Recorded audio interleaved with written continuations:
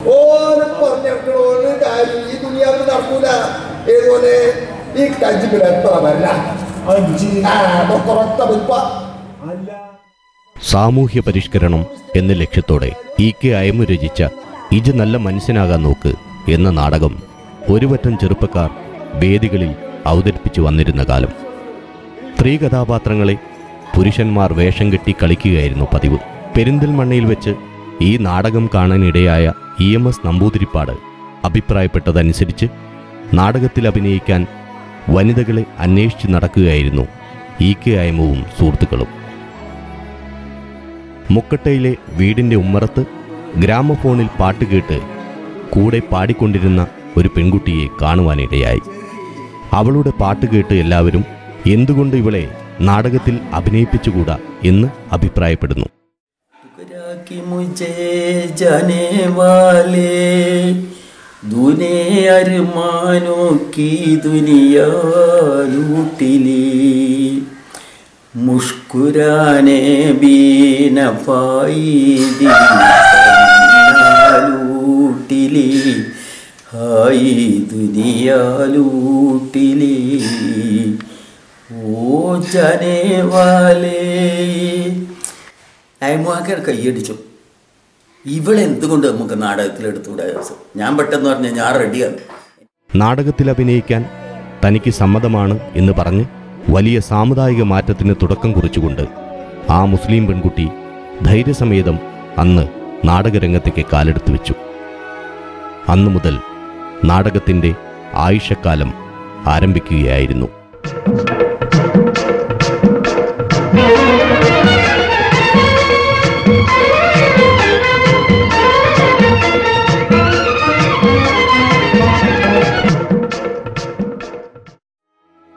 കിഴക്കനേർനാട്ടിലെ നിലമ്പൂരിനടുത്തുള്ള മുക്കട്ട എന്ന ഗ്രാമത്തിൽ മൂത്തയെടുത്ത് അഹമ്മദ് കുട്ടിയുടെയും എരഞ്ഞിക്കൽ കുഞ്ഞാച്ചുമ്മയുടെയും പുത്രിയായി ആയിരത്തി തൊള്ളായിരത്തി മുപ്പത്തിയാറ് സെപ്റ്റംബർ പതിനെട്ടിന് ആയിഷ ജനിച്ചു. നിലമ്പൂർ കോവിലകത്തു നിന്ന് മുത്തുപട്ടർ പദവി ലഭിച്ച ബാപ്പയുടെ മകളായി സമ്പൽ സമൃദ്ധിയിലും പ്രൗഢിയിലും ജീവിച്ചിരുന്ന ബാല്യകാലഘട്ടമായിരുന്നു ആയിഷയുടേത്. വൈകുന്നേരങ്ങളിൽ വീട്ടിലെ പണിക്കാർ ചേർന്ന് അവതരിപ്പിക്കുന്ന വിവിധ കലാപരിപാടികൾ ആസ്വദിക്കുന്നതിന് ബാപ്പ മക്കൾക്ക് അവസരം ഒരുക്കി കൊടുത്തിരുന്നു. എല്ലാവരും നിങ്ങളുടെ കല ഞങ്ങളുടെ കുട്ടികളുടെ മുമ്പിൽ അവതരിപ്പിക്കുമെന്ന് പറയുമ്പോഴേ അപ്പോൾ ഇവർ കുഞ്ഞാനും കുഞ്ഞാളും വെള്ളത്തിനോയിട്ടേ എന്തേ ഏലിത്തര നേരം വെക്കിയത്? ചെങ്കല്ലാരച്ചിട്ടും വെള്ളം കാലങ്ങിട്ടും വെള്ളം തേളിയോളം നിന്നതാണ്. ചവിട്ടലേ ചവിട്ടലേ ചവിട്ടലേ ഇഞ്ചങ്ങട്ട് ഇറങ്ങി വന്നാൽ ഇഞ്ചി പോലെ ഇഞ്ചി കുത്തും പോലെ കുത്തും ചാത്തനാരെ പോത്തനാരെ പറമ്പനേലേ. സഹോദരന്മാർ ചേർന്ന് അവതരിപ്പിക്കുന്ന ചെറുനാടകങ്ങളുടെ പ്രേക്ഷകരും ആയിഷയും സഹോദരിമാരും തന്നെയായിരുന്നു അങ്ങനെ ചെറുപ്പകാലം മുതൽക്ക് അഭിനയകലയോട് അടുപ്പം വെച്ച് പുലർത്തിയിരുന്നു ആയിഷ. ബാപ്പയുടെ മരണശേഷം പ്രാരാബ്ദവും കഷ്ടപ്പാടും നിറഞ്ഞ യൗവന കാലഘട്ടമായിരുന്നു ആയിഷയുടേത്. പതിമൂന്നാം വയസ്സിൽ നാൽപ്പത്തിയഞ്ച് വയസ്സുകാരനായ കുട്ടിഹസനെ വിവാഹം കഴിച്ചുവെങ്കിലും കേവലം അഞ്ച് ദിവസം മാത്രം നീണ്ടുനിന്ന ദാമ്പത്തിക ബന്ധമേ ആയിഷയ്ക്കുണ്ടായുള്ളൂ. ഇതിനിടെ താൻ ഗർഭിണിയാണെന്ന് അറിഞ്ഞ് കയറിൽ തൂങ്ങി മരിക്കാനൊരുങ്ങിയ ആയിഷയെ നീ ജീവിച്ചു കാണിക്ക്. മരിക്കുകയല്ല വേണ്ടത് എന്ന് പറഞ്ഞ് ശക്തി പകർന്നു സഹോദരൻ. ഈ ശക്തിയിൽ തുടർന്ന് ജീവിക്കാൻ തീരുമാനിക്കുന്നു. ഒരു പെൺകുഞ്ഞിന് ജന്മം നൽകി അതിനെ വളർത്തി വലുതാക്കാൻ കൂലിപ്പണികൾ ചെയ്തു തുടങ്ങി. ജന്മിത്വം അവസാനിപ്പിക്കുക മുസ്ലിം സമുദായത്തിന്റെ ഉന്നമനം വിദ്യാഭ്യാസത്തിന്റെ അനിവാര്യത ബോധ്യപ്പെടുത്തൽ തുടങ്ങിയവ ലക്ഷ്യമിട്ട് ഇ കെ അയമു രചിച്ച നാടകത്തിൽ അഭിനയിക്കാൻ ആയിഷ ഒരുങ്ങിയതോടെ ഉമ്മയുടെ വിലക്ക്. വേണ്ട നമുക്ക് ഭ്രഷ്ട് കൽപ്പിക്കും. നമ്മളെ മതത്തിൽ നിന്നും പുറത്താക്കുമെന്ന്. ഇ കെ എം ഒരു നാടക ട്രൂപ്പ് നാടക ട്രൂപ്പ് എന്ന് പറഞ്ഞാൽ ഇ കെ എമ്മുവിന് ഈ നാടിന്റെ ഈ പിന്നെ വികസനമില്ലായ്മ ഈ വിദ്യാഭ്യാസമില്ലായ്മ ഇതൊക്കെ കണ്ട് അസ്വസ്ഥനായിട്ട് ഇയാൾ ഒരുപാട് ആളുകളെ പത്ത് പിന്നെ പതിനായിരം ആളുകളെ ഇരുപതിനായി ഇരു രണ്ടായിരത്തോളം ആളുകളെ വിളിച്ചു വരുത്തി അയ്യോളത്തിൽ അസന്റെ പീടികയിൽ വെച്ചൊരു പിന്നെ ചർച്ച നടത്തുക. നമുക്ക് ഈ പ്രശ്നങ്ങൾക്ക് ഈ അതായത് വിദ്യാഭ്യാസം അനിവാര്യമാണെന്നും ജന്മിത്തം അവസാനിപ്പിക്കണമെന്നും എന്തുകൊണ്ട് ഈ മുസ്ലിം സമുദായത്തിൽ രണ്ട് വിഭാഗങ്ങൾ അടിക്കുന്നു എന്നും അറിയണമെങ്കിൽ നമ്മൾ അതിനെന്ത് ചെയ്യണം എന്ന് ചോദിച്ചപ്പോൾ ഒരാൾ എഴുന്നേറ്റിട്ട് പറയുന്നു ഒരു നാടകത്തിലൂടെ ചെയ്താൽ നല്ലൊരു മെച്ചമുണ്ടായിരിക്കും അപ്പോൾ ഈ കെ പറഞ്ഞെങ്കിൽ ഞാനൊരു നാടകം എഴുതാം. അപ്പോൾ വിരുദ്ധനായ ഒരാൾ എഴുന്നേറ്റിട്ട് പറഞ്ഞു ഈ നാട് നന്നാക്കുന്നതിന്റെ മുമ്പേ ഇജ്ജ് നല്ല മനസ്സിലാകാൻ നോക്ക്. ഈ കെ എം പറഞ്ഞ് എന്റെ നാടകത്തിന്റെ പേര് ഇജ്ജ് നല്ലൊരു മനുഷ്യനാകാൻ നോക്ക്. അങ്ങനെയാണ് ആ നാടകം ഉടലെടുത്ത് രക്ഷിക്കാൻ കഴിയാത്ത ഒരു മതസ്ഥരും തന്നെ ശിക്ഷിക്കാൻ വരണ്ട എന്ന് പ്രഖ്യാപിച്ച് ആയിഷ അഭിനയ രംഗത്തേക്ക് ഇറങ്ങുകയായിരുന്നു. ആയിരത്തി തൊള്ളായിരത്തി അൻപത്തിരണ്ടിൽ ആദ്യ നാടകത്തിൽ അഭിനയിച്ചു തുടങ്ങിയ ആ നാടക ജീവിതം തുടർന്നങ്ങോട്ട് ജൈത്രയാത്ര നടത്തുകയായിരുന്നു. കിലോമീറ്ററുകൾ നടന്നുള്ള റിഹേഴ്സലുകൾ നാടക അവതരണം ഏറനാടിന്റെ വിരുമാറിൽ നിന്നും ഒരു അനാഘാത പുഷ്പം ആയിഷ എന്ന പെൺകുട്ടി നാടകത്തിലേക്ക് എന്ന അനൗൺസ്മെന്റുകൾ സ്വീകരണങ്ങൾ സ്വർണ മെഡലുകൾ കേരള നൂർജഹാൻ എന്ന ഓമനപ്പേര് എന്നിങ്ങനെ അംഗീകാരങ്ങൾ ഏറ്റുവാങ്ങിക്കൊണ്ട് മുന്നേറിക്കൊണ്ടിരിക്കുമ്പോഴും സമൂഹത്തിൽ നിന്ന് ഏറെ എതിർപ്പുകൾ നേരിടേണ്ടി വന്നു ആയിഷയ്ക്ക്. ഒടുവിൽ സമുദായത്തിൽ നിന്നും ഭ്രഷ്ട് കൽപ്പിക്കപ്പെടുകയും ചെയ്തു. നിലമ്പൂർ കോവിലകത്തെ കുഞ്ഞിക്കുട്ടൻ തമ്പുരാനും ഡോക്ടർ ഉസ്മാനുമൊക്കെ നൽകിയ സഹായമായിരുന്നു ആയിഷയെ ഈ ഘട്ടങ്ങളിൽ പിടിച്ചു നിർത്തിയത്. കുഞ്ഞിക്കുട്ടൻ തമ്പുരാൻ പറഞ്ഞ് എന്റെ പാടത്ത് നെല്ലുണ്ട്. ആയിഷയുടെ വീട്ടിലൊരു കിണറുണ്ട്. അപ്പോൾ ഞാനിവിടുന്ന് അരിയൊക്കെ അത് അങ്ങോട്ട് കൊടുത്തേക്കും ഒരു വണ്ടി നിറച്ച്. പിന്നെ വിറക്. അത് അതും ഞങ്ങളുടെ ചുറ്റുവട്ടത്തൊക്കെ ഉണ്ട് അതും അവിടെ എത്തിക്കാം. പിന്നെ തീപ്പെട്ടിയല്ലേ? അത് ഞങ്ങൾ കോഴിക്കോട് പോയിട്ടാണെങ്കിലും ഞങ്ങൾ വാങ്ങിയിട്ട് ഞങ്ങൾ വെച്ച് തിന്നോളും. ഈ സമയത്ത് നിരവധി സാമൂഹ്യ സേവനങ്ങൾ ആയിഷ നിർവഹിച്ചു. നിരാലംബരായ രോഗികളെ വീടുകളിൽ ചെന്ന് പരിചരിച്ചു. ആദിവാസികളുടെ ഉന്നമനത്തിനായി പ്രവർത്തിച്ചു. സമൂഹത്തിന്റെ വേദനകളിലും പ്രശ്നങ്ങളിലും കൂടെ നിന്നു. പതുക്കെ പതുക്കെ ഭ്രഷ്ട് അവസാനിച്ചു. സൈനബ അഴകുള്ള സൈനബ ഇളമാൻ കിടാവ് പോലെ വന്ന് നിന്നതെന്തിനാ? പിന്നീട് ഒരു വിവാഹം പ്രേമം എന്നിവയെക്കുറിച്ചൊന്നും ചിന്തിക്കാൻ തനിക്ക് അവസരമുണ്ടായില്ല. കെ ടി മുഹമ്മദിന്റെ നാടക ട്രൂപ്പിൽ ചേർന്ന് പ്രവർത്തനം ആരംഭിച്ചു. നാടകം എന്ന് പറഞ്ഞിട്ടുണ്ടെങ്കിൽ അത് ഒരു തറക്കല്ല തറക്കല്ലിടുകയാണ്. നമ്മളുടെ കലയുടെ ഒരു തറയാണ് അത് നാടകം എന്ന് പറഞ്ഞിട്ടുണ്ടെങ്കിൽ. ആദ്യം തന്നെ വന്നിട്ട് വീണു ഒരു രൂപ തരൂ. എന്റെ കുട്ടികൾക്കൊന്ന് അരി വാങ്ങി കഞ്ഞി വെച്ച് കൊടുത്തിട്ടില്ല. ഇയാൾക്ക് അതിൽ നിന്നൊരു മെത്ത് കിട്ടുക എഴുതാനുള്ള. ഈ അമ്മ ഇങ്ങേ ഭാഗത്ത് കൂടെ വരുന്നു. എങ്ങനെ? കഥാപാത്രമായിട്ട്. കഥാപാത്രമായിട്ട് വരുന്നത് എന്താണ്? ലോട്ടറി അടിച്ചിട്ടാണ്. അപ്പം പിന്നെ അങ്ങനെ ലോട്ടറി അടിച്ചിട്ടുള്ള വലിയൊരു ഇതാ ഞാൻ കാറയക്കാം നീ എന്റെ വീട്ടിലേക്കൊന്ന് വാ. എന്നും പറഞ്ഞുകൊണ്ട് പോകുക ഒരു രൂപ തെണ്ടിയാണ്. ഈ കഥാപാത്രത്തിന് എങ്ങനെ മാറ്റിക്കൊണ്ടിരുന്നത് എനിക്ക് വിശക്കണേ. എന്താ പറ്റുക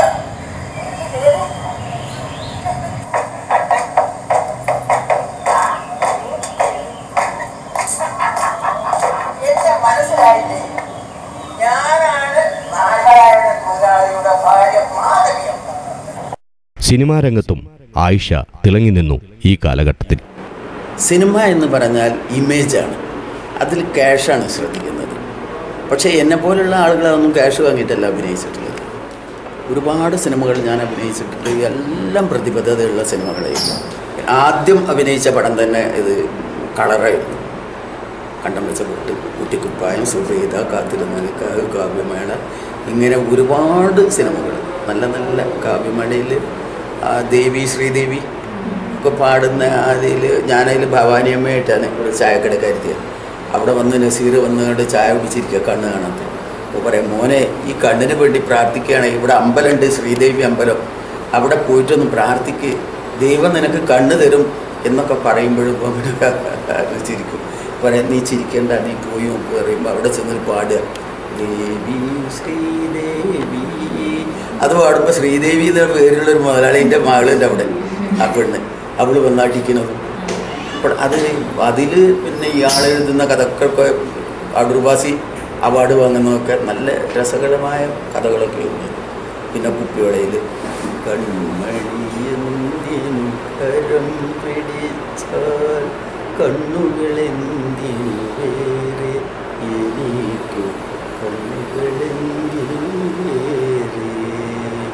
ഇതൊക്കെ പാടുന്ന നസീർ കണ്ണൂട്ടനായിട്ടിരിക്കുന്ന എന്റെ മകൾ കല്യാണം കഴിച്ചു കൊടുത്ത് അവിടെ ഒരു കാര്യസ്ഥൻ അയാളുടെ വലിയൊരു വില പിടിച്ച മുതൽ കെട്ടിട്ട് ഞാൻ കൊണ്ടുവന്ന പാത്രത്തിൽ ഇട്ട് വെച്ച് എന്നെ കല്ലിയാക്കുന്നത് ആ കള്ളിയാക്കി വരുമ്പോൾ എന്നെ സംശയിച്ചിട്ട് അറസ്റ്റ് ചെയ്ത് പോകുമ്പോഴാണ് മകൾ വന്നിട്ട് ഉമ്മയല്ല അത് ചെയ്തത് ഞാനാണ് ഇവിടെ.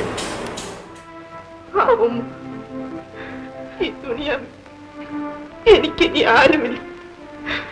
ഞാൻ ഭാഗ്യം കിട്ടുന്നു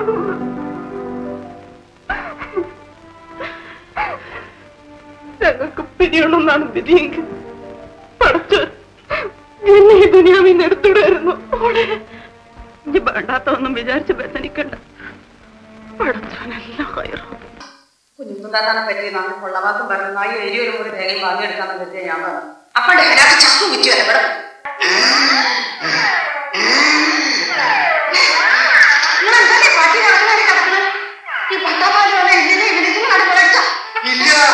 വെതക്കെ വീശി വെക്കണം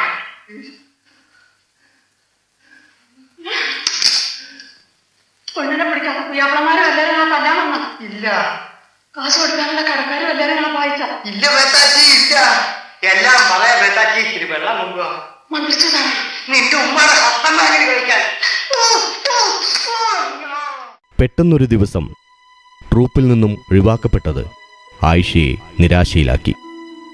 നിരാശാബാധിതമായ ഈ കാലഘട്ടത്തിലാണ് ആയിഷയ്ക്ക് വിദേശത്ത് ജോലി ചെയ്യുന്നതിന് അവസരം ലഭിച്ചത്. ഇനി നാടകം എന്ന സംഗതി ഞാൻ കളിക്കില്ല അവസാനിച്ചു നാടകം. ഇതാണോ സംസ്കാരം? ഇതാണോ മനുഷ്യൻ? നിറയെ നാടകങ്ങളില്ലപ്പോൾ ഞങ്ങളോട് ഇതുവരെ സഹകരിച്ചതിന് നന്ദി പറഞ്ഞ് അവർക്ക് ആളില്ലാത്തപ്പോൾ കൊണ്ടുപോയതാണ് ഈ നദികളെ പക്ഷെ ഉണ്ടാക്കി കഴിക്കുക. അതൊരു രസമാണല്ലേ പുറത്ത് പോയിട്ട്. ഈ റോഡ് സൈഡിൽ ഒക്കെ ഇരുന്നിട്ടൊക്കെ വെച്ചുണ്ടാക്കി തന്നെ ഈ ചക്കണ വൈരി കാവിൽ കുത്താറുകളെ വാരി നല്ല രസമാണ് അതാണ് അറബികൾ ഇഷ്ടപ്പെടുന്നത്. രണ്ട് മണി കഴിഞ്ഞാൽ ഒക്കെ ഒരു വണ്ടിയിൽ കയറ്റി. ഗ്യാസ് കയറ്റി ചുമട് കയറ്റി അരി സാധനങ്ങളൊക്കെ. അവിടെ ചെറിയ കുറ്റി കുറ്റി കുറ്റി ഇത് ഉണ്ടാവില്ല മരല്ല മരല്ല. അതല്ലേ നമ്മളവിടെ കാണുമ്പോൾ പറയും "ഏയ്, സ്ലോൺ സജർന്ന് സജർന്നാണ് കുറുവാനിലൊക്കെ ഖുർആനിലൊക്കെ സജർ സജറത്തിൽ സജറം നമ്മളെ നാടിനെ പറ്റി ഒരു പറയുന്നുണ്ട്. ഓ കാട്ടിൽ വന്ന് താമസിക്കാനുള്ള പൂതിയായിരിക്കും. എന്നിട്ട് പിന്നെ ഈ ഇതൊക്കെ കൊണ്ടുപോയിട്ട് വലിയ വണ്ടിയാണ് പോവുക. അപ്പം ആണുങ്ങൾ ഒരു വണ്ടി പെണ്ണുങ്ങൾക്ക് രണ്ട് മൂന്ന് വണ്ടിയൊക്കെ ഉണ്ടാവും. എന്നിട്ട് ഒരു വണ്ടി ഇങ്ങനെ നിർത്തും ഒരു വണ്ടി ഇങ്ങനെ നിർത്തും ഒരു വണ്ടി ഇങ്ങനെ നിർത്തും ഒരു വണ്ടി അങ്ങനെ നിർത്തും. അപ്പോൾ ഇതൊരു ഇതായില്ലേ? അതിന്റെ ഉള്ളിലാണ് പെണ്ണുങ്ങൾ ഇരിക്കുക. ഇതിന്റെ ഉള്ളിൽ ഇരുന്നിട്ട് അരി അപ്പുറത്ത് വേവുന്നുണ്ടാവും അപ്പോഴത്തേക്ക് പാട്ട് തുടങ്ങും. ഡാൻസും. ആണുങ്ങൾ അപ്പുറത്ത് പാടും. എന്റെ കഫീലിന്റെ ഒരു മകൾ മോട്ടോർ ബൈക്കൊക്കെ പറപ്പിക്കുമായിരുന്നു പക്ഷെ പുറത്തോട്ടാൻ വയ്യല്ലോ. പിന്നെ മുറ്റുണ്ട്. എന്നിട്ട് എന്നോട് പറയും ഇജ് കയറി ചോദിക്കും ഞാൻ അതിനെക്കാട്ടിലും വലിയ ചെയ്താനല്ലേ ഞാൻ മുട്ട് കയറും ഇവിടെ എന്നെ പറപ്പിക്കും നീ കൊണ്ട്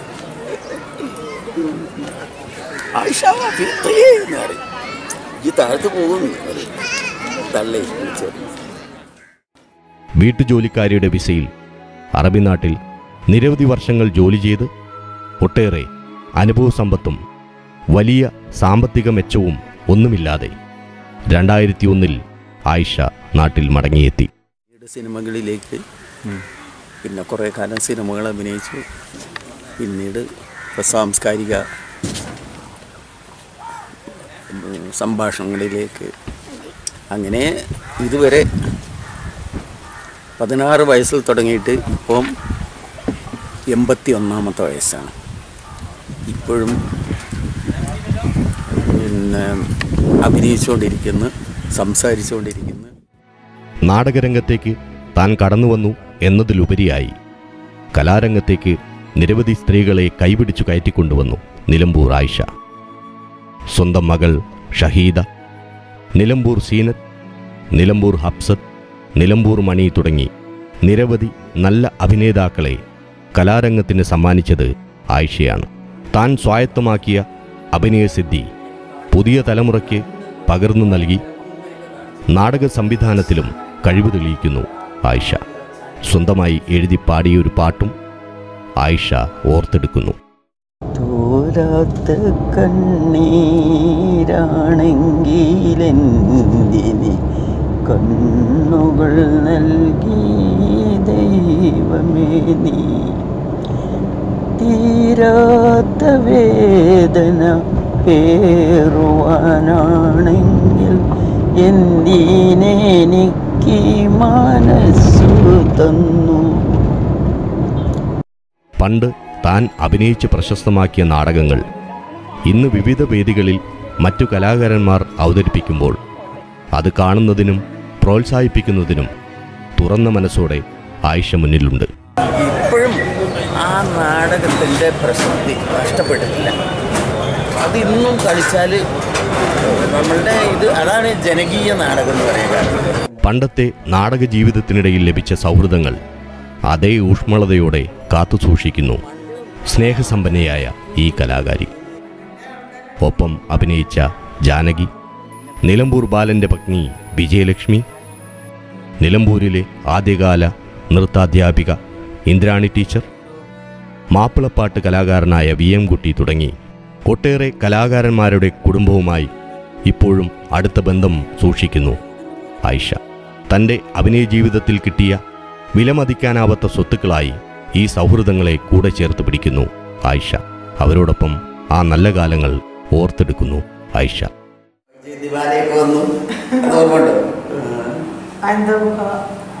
അവർ സിനിമക്കാരല്ലേ?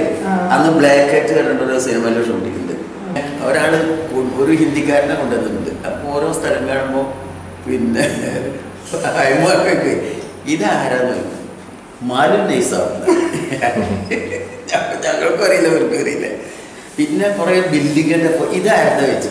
മാലും നൈസാവുന്നത് അങ്ങനെ എല്ലാം ഇയാൾ മാലും നൈസാവുന്നതാണ് ഒരു എട്ട് പത്തെണ്ണം. പിന്നെ ഒരു ശവം അങ്ങനെ കൊട്ടുക അപ്പൊ ആരൊന്നും ഇവിടെ മരിച്ചു വെച്ചു? മാലും നൈസാവുന്നത് ഇത്ര മുതലുണ്ടായിട്ട് എന്ത് കാര്യം? അയാളല്ലേ മരിച്ചു ഇത് നിലമ്പൂർ ബാലട്ടന്റെ ഭാര്യയാണ്. ഞങ്ങൾ ഒന്നിച്ചാണ് ഒരുപാട് കാലങ്ങൾ നാടകത്തിലുണ്ടായിരുന്നു നിലമ്പൂർ യുവജന കലാസമിതിന്റെ നാടകത്തിൽ. നിലമ്പൂർ യുവജന കലാസമിതിന്റെ നാടകം മുഹമ്മദിന്റെ ടി മുഹമ്മദിന്റെ ഞാനും ഐഷാത്തൊക്കെ ഒരു അടുത്ത ഫ്രണ്ടാവുന്നത് കല്യാണം കല്യാണം കഴിഞ്ഞതിന് ശേഷം. എന്റെ ഇവരെ വീട്ടിൽ വന്നിട്ട് അങ്ങനെയാണ്. അതിനു മുമ്പ് എനിക്ക് ഐഷാത്തിനെ പരിചയമൊന്നുമില്ല. പിന്നെ കൂടുതൽ ഞങ്ങൾ ഫ്രണ്ട്ഷിപ്പിൽ എത്തുന്നത് എന്താണെന്ന് അറിയോ ബോംബെ പോയി. മനസ്സിലാകാൻ നോക്കുന്നുള്ളതാണ്